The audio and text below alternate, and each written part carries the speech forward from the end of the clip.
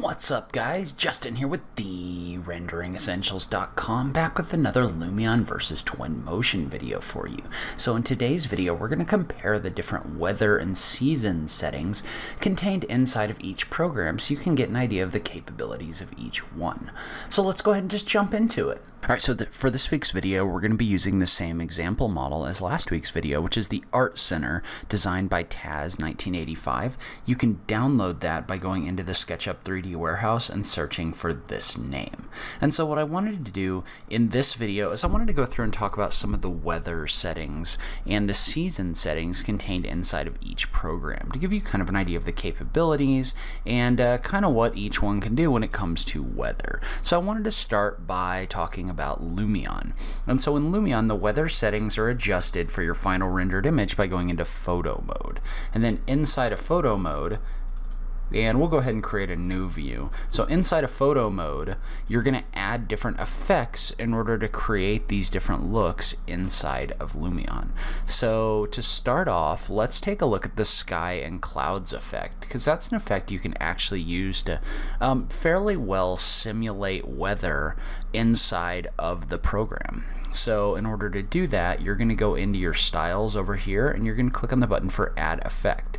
And inside of add effect, if you go to this fourth setting, in the weather and climate settings, there's actually an option in here for custom sky and clouds. And so if you click on that, what that's going to allow you to do is that's actually going to allow you to adjust the way those clouds look and customize them. So you can see how you can add high clouds or low clouds, and then you can also adjust their position until you get a look that you're kind of going for here. So you can adjust this to try to get different cloud effects in here depending on what you're trying to do. So you can also adjust the brightness. You can make this dark, you can make this brighter, um, you can adjust different things. It's really kind of customizable in here. In addition, you also have the ability if you want to, instead of doing the sky and clouds effect, you can also select an overcast real sky. So for example, you would add the real sky effect and uh, I think this got added in Lumion version 9 but you would go into your um, you would go into your real skies you'd go into the overcast settings and there's actually a couple different overcast HDRI images that you could add that are really realistic and have some really realistic clouds so you can see how this would probably good, be good for a rainstorm or a thunderstorm or something like that so you can do your custom clouds or you can add a real sky in the background inside of Lumion. So within Twinmotion, um, you affect and change the way that the seasons work inside of your image settings. So in Twinmotion, what you do is you set up an image down here, and then inside of the more settings in your image, you actually go into your weather settings here and you can adjust those using this slider. So that's where you find that inside of Twinmotion. And so with Twinmotion, what this gives you is this gives you the ability to adjust this slider to add clouds in the background. And note that after a certain point, these clouds block the uh, they block the sun, which therefore affects uh, both the way that your shadows look, but also just kind of the brightness of your surfaces and things like that. So you can use this this uh, slider to adjust the way that the clouds are in here. And note that as you drag this along here, this will add other things in here like precipitation and stuff like that, which we'll talk a little bit more about in a minute. But the clouds aren't really super editable in this case. Um, they really just kind of get added in there or they get removed out, but you can't really adjust like their location or anything like that inside of Twinmotion. So in addition, you can also adjust the fog settings inside of Twinmotion by going over into your effects on the right hand side. There's actually a setting in here marked as smog that you can turn up and down. I'm not really sure why they didn't call this fog because that's really what it is. So I'm a little confused about that, but that's where you can adjust that setting. And the nice thing about the smog is if you add that with like a rainstorm or something like that, it really kind of adds to the realism of that scene. So you can either have it be completely clear like this or if you drag this up you can add that kind of extra moisture that's in the air um, that you get inside of a rainstorm. And so within uh, Lumion there's a similar setting but you would add that over here by going into your effects and adding a fog effect. So the effect is actually something that you add into your effects stack over here. then you can use this to adjust the density of that fog as well as the brightness and I'm going to go ahead and I'm going to disable my real sky and I'm going to leave my sky and clouds turned on maybe turn the brightness down a little bit maybe I'll just leave it as is but with this one you can adjust the fog using all of these different sliders. So you can adjust that density up. And you can see how as you add that density, this gets closer and closer to your camera. And uh, if you go all the way up, it'll completely block your view. But you can see how you can really kind of adjust this level using this slider. You can also adjust the fall off, which affects how high up in your image that fog is. So how high off the ground. And then you can also adjust the brightness in here as well. Um, you can adjust the color if you want to. Um, that kind of depends on the kind of effect you're trying to create more than anything else. So you can see how if I put this to like a bright green or something like that, everything starts looking a little bit weird. So now let's take a little bit closer look at the actual precipitation effects contained in both programs. So inside of Lumion, you add the precipitation by going into your effects, under weather and climate, and you just add the precipitation effect. So you can see how when I add that precipitation effect, what that does is that starts adding in precipitation and also things like puddles and other things like that.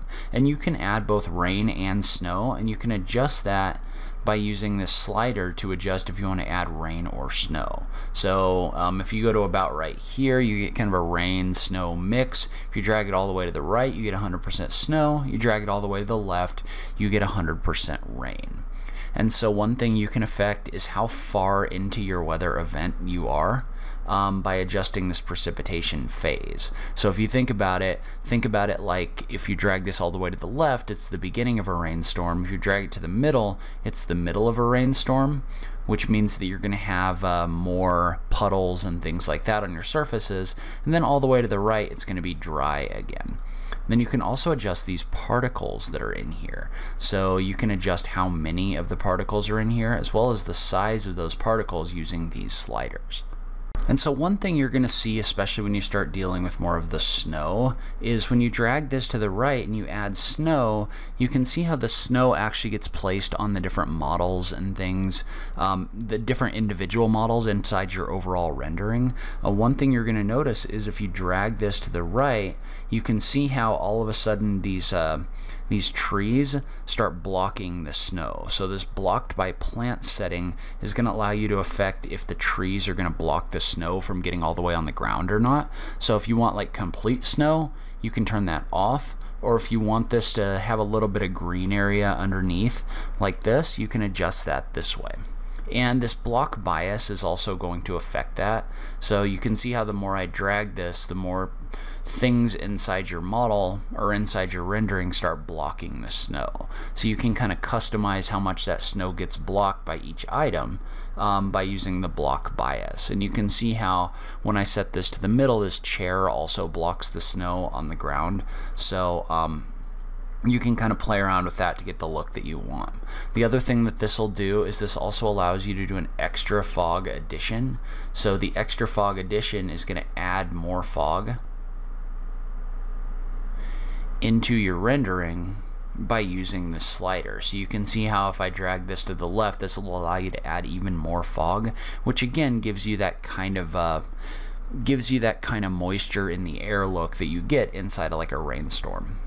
So within Twinmotion, the way that you affect the weather settings is you use this slider at the top of the page to affect if the precipitation is coming down or not. And so you'll notice that when I drag this in around this cloud right here, um, the precipitation is at its highest. And this kind of effect, this kind of does the same thing where you can see how as I drag this along, this simulates the stages of a rainstorm. So like this would be like the early stages before a whole bunch of water has really like piled up into puddles and stuff. And then as I drag this along, you can see how I get puddles and things like that on the surfaces. And then if I drag this a little further, then I get kind of wet surfaces, but I don't necessarily have the precipitation coming across my scene anymore. And so within Twinmotion, if you wanted this to be a snowstorm, what you would do is you would go down into the second row right here and you would drag this over to more of where the snowman is. And so when you drag this over to where the snowman is this is going to change your precipitation from uh, rain to snow. And one thing to note about this this is really interesting is uh, your deciduous trees in here um, when you drag this into the snow um, these actually go to more of a winter time setting meaning there's not leaves on the trees anymore. And that's something that you don't necessarily necessarily, I don't think, see as much of inside of Lumion. So you can see how when I drag this to the right with these trees, um, these trees just get snow on the leaves and they don't really go to the winter setting. Now in version 9.5, they did add a number of trees that are more um, more winter trees, so they don't necessarily have as many leaves and things like that, but you would have to place them inside of your model um, to get that look. Where inside of Twinmotion, this will just take these to that version um, whenever you select the snow settings. So not a whole lot of editability in here, but it's really easy to add that snow um, effect inside of here using this uh, program. So note that if you drag this a little further to the right, you can get the snow on the ground without the actual snow particles showing up in your... So another feature I want to focus on a little bit is I want to focus on the fall colors. So inside of Twinmotion, if you use trees out of their library, notice that as I drag this along, the color of the trees is changing. So I'm going to move this back to something kind of sunny, but then I'm going to drag this along, and you'll notice when I drag this to like autumn, right here, your trees actually automatically change to autumn um, along with the season that you have selected in here. So you can see if I drag this back to summer, they're green. If I drag them to autumn, they automatically turn orange. You can manually adjust that if you want. So by clicking on these trees, there's options in here for auto season. So if you wanted these to stay green or go directly to winter, you can adjust those inside of the individual tree settings. So you can either have it do that automatically or you can do that manually. Um, so within or within Lumion, that's a little bit different in the sense that uh, you don't necessarily that doesn't necessarily happen automatically. What it does instead is there's an effect in here. If you go into Add Effect under Autumn Colors, and then let's kind of zoom in so we can see one of these trees um, because it's kind of clipping the vegetation out depending on where my camera is. If you turn the autumn colors up, you can see how you can actually adjust the color of your plants using this slider. And you can also adjust the saturation to make that a little bit brighter. And so for the trees themselves, if you want them to be multiple different colors, what you can do is you can adjust the hue variation. You can see how when I adjust the hue variation and probably turn the saturation down a little bit because those are kind of bright. If you adjust the hue variation, that means that these trees are going to be different colors, so there's more variation in here.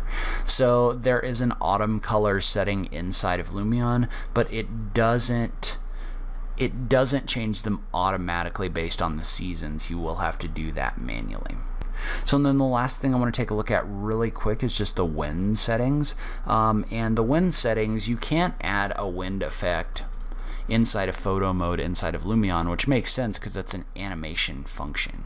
So you can't add that in here under wind. But if you go into your movie mode, and let's say we wanted to add a new movie, so I'll delete the one I had in there, we could just record a couple clips and just adjust adjust the length of this clip and then click OK.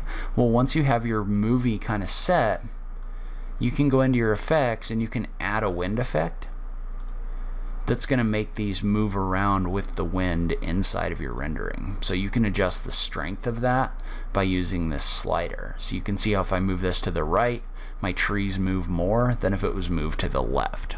So within Twinmotion, you can also affect the wind, and you can do that by going into your image settings. And all of these are really adjusted inside the image settings.